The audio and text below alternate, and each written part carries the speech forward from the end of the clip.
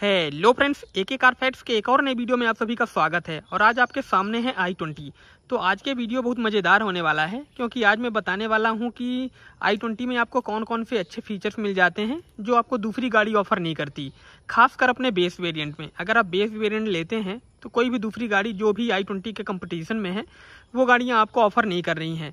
हालाँकि इसका थोड़ा सा प्राइस ज़्यादा है। लोग बोलते हैं कि थोड़ी सी ज़्यादा प्राइस है बेस वेरिएंट पे, लेकिन इतनी भी ज़्यादा प्राइस नहीं है, क्योंकि मैंने ये गाड़ी आठ लाख रुपए में ली है और ठीक ठीक आठ लाख रुपए में, ना कम ना ज़्यादा। तो उस हिसाब से इसमें हम सारे फीचर्स देखेंगे। और अगर आप दूसरी गाड़ियाँ जो भी इसके कंपटीशन में है, जैसे मैंने बताया आपको तो अगर आप उनका बेस वेरियंट देखेंगे तो उनमें कुछ भी नहीं मिलता आपको। सिर्फ़ गाड़ी मिलती है और बहुत सारी चीज़ें जो बेसिक होती है ना, वो भी नहीं मिलती।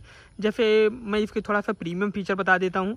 जैसे इस गाड़ी की अगर आप की देखेंगे तो कुछ इस टाइप से आपको फ्लिप की मिलती है, जो देखने में थोड़ा सा माहौल बनाती है, थोड़ा सा अच्छा फील कराती है। ऐसा नहीं है कि सिर्फ़ नॉर्मल की है फ्लिप की टाइप से है तो ये बंद भी हो जाती है तो अच्छा लगता है। उसके बाद आप इससे कार को लॉक कर सकते हैं अनलॉक कर कर सकते हैं और होल्ड करके रखेंगे तो बूट ओपन हो जाता है। खुलता नहीं है, बस रिलीज़ हो जाता है मतलब वहाँ से थोड़ा सा उसको आप ऊपर करके उसको ओपन कर सकते हैं। तो ये चीज़ है। उसके बाद अगर इसका पूरा फ्रंट व्यू देखेंगे, और एक चीज़ और है, जैसे इस टाइप से कि आपको कोई दूसरी गाड़ी ऑफ़र नहीं करती जैसे इसके जो भी कंपटीशन में, जैसे अगर आप बलिनो देखेंगे तो उसमें आपको नॉर्मल की देखने को मिलती है तो ये चीज़ें नहीं हैं। उसके बाद अगर आप फ्रंट का व्यू देखेंगे तो इस गाड़ी में आपको फॉग लैम्प भी मिलता है और उसके साथ डी भी मिलता है। जैसे मैंने आपको पहले ही बताया कि जो भी इसके कंपटीशन में गाड़ियाँ हैं, उनमें ना तो आपको फॉग लैम्प मिलेगा और ना तो डीआरएल मिलेगा। तो ये एक प्लस पॉइंट हो जाता है। इसको आपको लगवाना नहीं है कंपनी से ये लगा लगाया ही मिलता है। स्क्रेच है क्या? नहीं, धूल लगी है, मुझे लगा स्क्रेच लग गया, क्योंकि मैंने पूरी ही गाड़ी में स्क्रेच मार दिए हैं पीछे साइड में, एक बार दिखाऊँगा आपको। तो जैसे ये दोनों चीज़ें आपको नहीं मिलती। उसके बाद अगर लाइट का थ्रो देखेंगे तो ओके ओके है। ना तो बहुत अच्छा है, ना तो बहुत बुरा है। ठीक ठाक है। और पूरा अगर आप फ्रंट का व्यू देखेंगे ना तो पूरा ही मतलब टॉप एंड वेरिएंट की तरह नहीं, क्योंकि टॉप एंड वेरिएंट में तो पूरा एल का सेटअप आ जाता है यहाँ पे। डी भी यहाँ पे आ जाता है उस पर बाकी ये पूरा स्पोर्ट वेरिएंट की तरह लगेगा। कहीं पे भी आपको कोई कमी नहीं लगेगी फ्रंट व्यू में। पूरा ही स्पोर्ट वेरिएंट की तरह लगेगा। उसके बाद अगर आप, जैसे आप इसको स्पोर्ट वेरिएंट से भी कंपेयर कर सकते हैं, एक बार के लिए, मैं बताता चलूँगा कि उसमें आपको क्या चीज़ें मिल जाती हैं और क्या नहीं मिलती। उसके बाद एक प्लस पॉइंट जो है इस गाड़ी का पॉजिटिव फीचर्स मुझे ये लगा, जैसे यहाँ पे देखेंगे आप, ये पंद्रह इंच का टायर मिलता है, ये तो अच्छी बात है ही है। उसके बाद आप देखेंगे तो यहाँ पे जैसे ये व्हील कवर है ना तो ये नट पे लगा हुआ है, यहाँ पे नट बोल्ट पे पे कसा हुआ है तो ये निकलने का डर नहीं रहता। और अगर आप दूसरी गाड़ियों में देखते हैं तो यहाँ पे हुक लगा रहता है। जैसे यहाँ पे साइड साइड पे हुक लगा रहता है। उससे सिर्फ़ यहाँ पे फंसा देते हैं उसको, हुक से। तो अगर गाड़ी ज़्यादा तेज़ होती है या ज़्यादा गड्ढे होते हैं तो मैंने प्रैक्टिकल देखा है। मतलब ऐसा मज़ाक वाली बात नहीं है। मैंने देखा है कि वो निकल जाते हैं कुछ दिनों के बाद। तो इसमें एक अच्छी बात है कि यहाँ पे नट से लगे हुए हैं तो इनको निकलने का डर नहीं है। ये मजबूती से फील है और देखने में भी अच्छे लग रहे हैं। पूरा डार्क ग्रे कलर में है तो अच्छा लग रहा है। और बेस वेरिएंट की जो पहचान है, यहाँ पे आपको फेंडर पे इंडिकेटर मिल जाता है। उससे कोई दिक्कत नहीं है, लेकिन अगर यहाँ पे रहता है, थोड़ी सी ज़्यादा चीज़ें सुंदर लगने लगती हैं। साइड का व्यू देखेंगे तो सिर्फ़ आपको यहीं पे फेंडर पे इंडिकेटर लगा है, जिससे आपको पता चलेगा कि यहाँ पे आपको बेस वेरिएंट है। और ये जो भी इसके कंपटीशन में है ना गाड़ियाँ, सारी चीज़ें आपको यहीं फेंडर पे देती हैं। कोई भी आपको यहाँ पे ओ आर पे नहीं देता है। उसके बाद आप पीछे वाला टायर देखेंगे तो जैसे इसमें आगे तो डिस्क ब्रेक मिलता है और पीछे आपको ड्रम ब्रेक मिलता है। पीछे देखेंगे तो पीछे फिर कोई कमी नहीं है।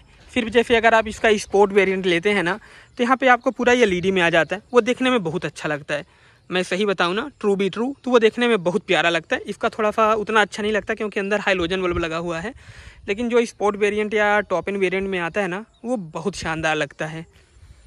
तो ये चीज़ें हो गई। और एक चीज़ और है, जैसे इसका जो पॉजिटिव फीचर्स मैं बता रहा था आपको कि आई ट्वेंटी लेने की वजह, ऊपर देखेंगे तो यहाँ पे सार्क फिन है।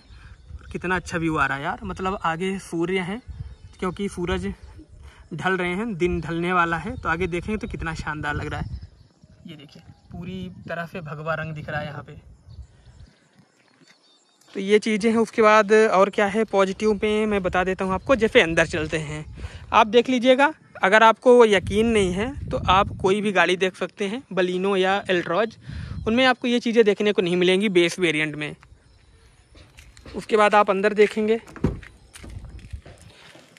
जो सबसे अच्छी चीज़ है, इस गाड़ी में आपको चार स्पीकर मिलते हैं। एक, चारों डोर पे चार स्पीकर और दो ट्विटर। ये भी आपको जैसे बलिनो वगैरह है ना, उनमें नहीं मिलता है। आपको कंपनी फ़ी लगवाना पड़ेगा या आफ्टर मार्केट में लगवा लेंगे, लेकिन आपको कंपनी फिटेड नहीं मिलता है। तो इस गाड़ी में ये भी बहुत अच्छी बात है और इसकी म्यूज़िक क्वालिटी भी बहुत गजब की है। मतलब कोई भी कमी नहीं है। पीछे वाले जो स्पीकर हैं, जो पीछे वाले डोर पे लगे हैं, वो थोड़े से कम आवाज़ करते हैं, लेकिन आगे बेस भी अच्छा है और आवाज़ भी अच्छी है।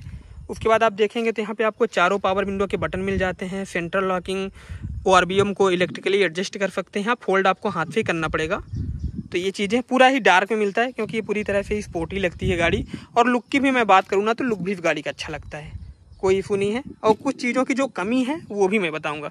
जैसे यहाँ पे देखेंगे तो बलिनो वगैरह में यहाँ पे ट्रैक्शन कंट्रोल भी मिल जाता है और आइडल स्टार्ट स्टॉप का बटन मिल जाता है, लेकिन इसमें नहीं है। ये गलत बात है। तो ऐसा नहीं है कि मैं सिर्फ़ अच्छाई बताऊँगा आपको, जो बुराई है, वो भी मैं बताता चलूँगा। उसके बाद यहाँ पे देखेंगे तो एक कमी मुझे ये लगी, जैसे यहाँ पे हाइट एडजस्ट करने का ऑप्शन नहीं है। ये होना चाहिए मेरे हिसाब से हाइट एडजस्ट करने का। तो नहीं दिया है, क्योंकि मेरी हाइट इतनी ज़्यादा नहीं है फाइव सिक्स है।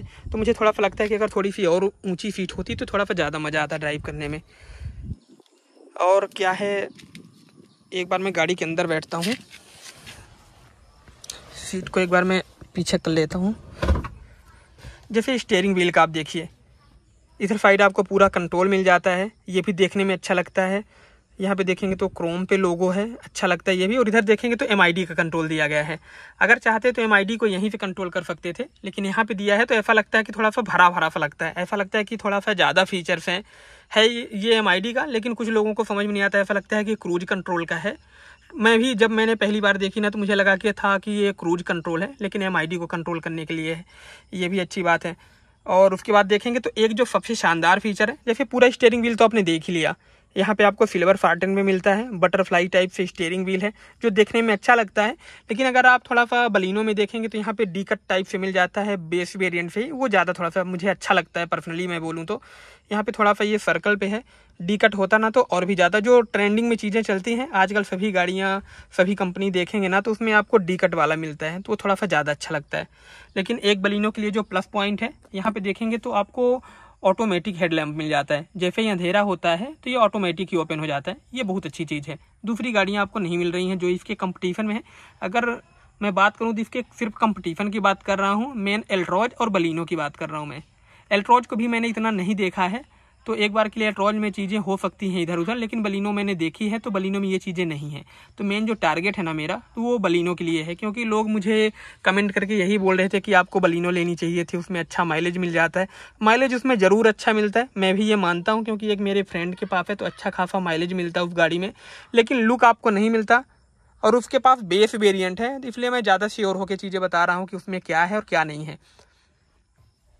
माइलेज तो इस गाड़ी में नहीं है ज़्यादा, क्योंकि अभी देखेंगे तो चौदह पंद्रह का माइलेज दे रही है। ठीक ठाक है, कम नहीं है, लेकिन मुझे उम्मीद है कि आगे चल के माइलेज बढ़ेगा। और उसके बाद मैं एक बार गाड़ी को स्टार्ट कर लेता हूँ। चाबी कहाँ रखी मैंने? चाबी रख ली जेब में।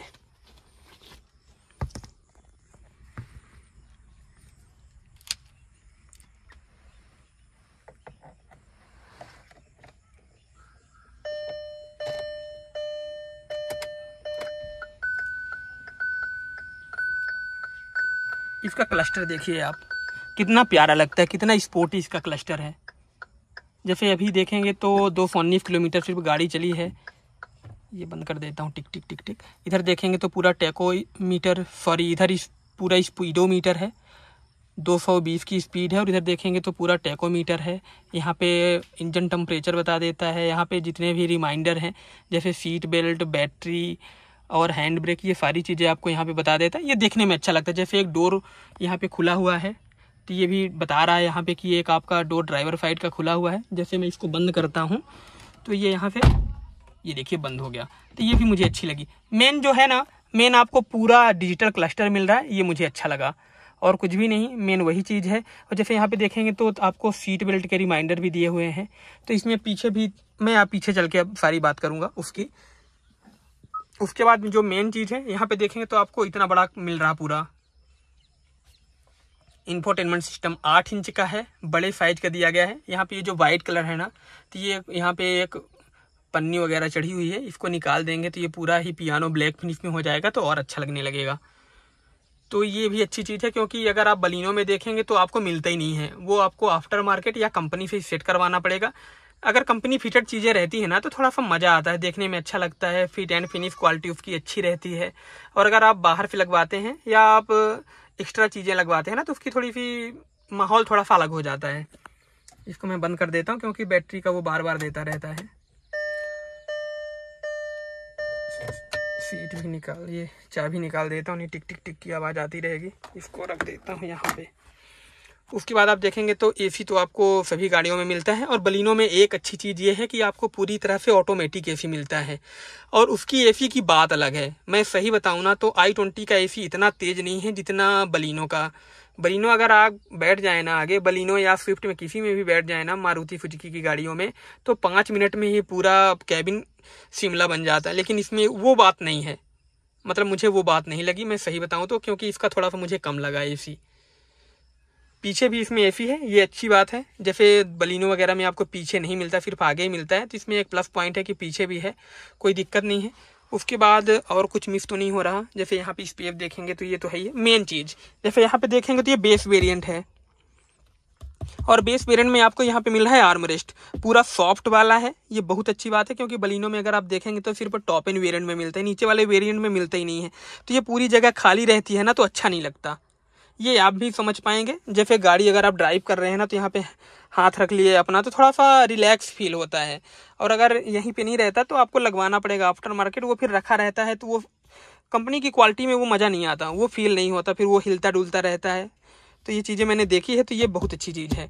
और उसके बाद आप देखेंगे तो यहाँ पे डे नाइट वाला आई आर बी एम तो है ही है। उसके बाद यहाँ पे देखेंगे तो एक सन ग्लास होल्डर मिल जाता है, जो आपको दूसरी गाड़ियों में नहीं मिलता।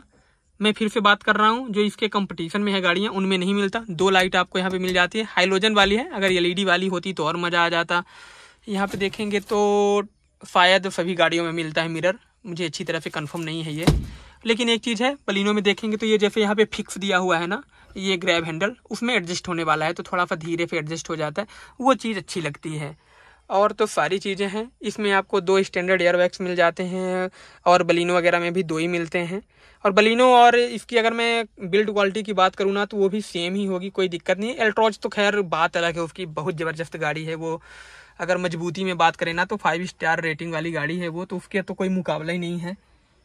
और क्या है? आगे का तो मुझे लगता है कि सारी चीज़ें हो गई। मैं एक बार पीछे चलता हूँ।